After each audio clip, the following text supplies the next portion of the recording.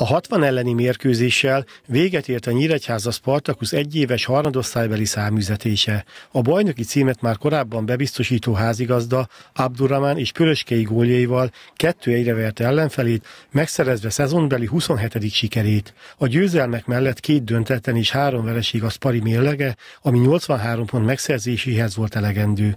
Mátyus János együttese 7 ponttal előzte meg a második ceglédet. A szakvezető szerint a legnehezebb feladatot az jelentette számára, számára, hogy az egész szezon során megfelelően tudja motiválni a játékosokat. Az nem hiszem, hogy különösebb kérdés lehetett, hogy a legjobb játékosok nálunk vannak, mind védelemben, mind középpályán, mind támadósorban a legjobb futballistájunk a Spalinál voltak, de az is tény, hogy mentálisan ö, 32 meccsen kellett nekem ezzel foglalkoznom, hogy minden hétvégi találkozóval úgy készítsem a csapatot, hogy, hogy toppon legyünk, ez általában sikerült is, és ezért lehetünk bajnokok.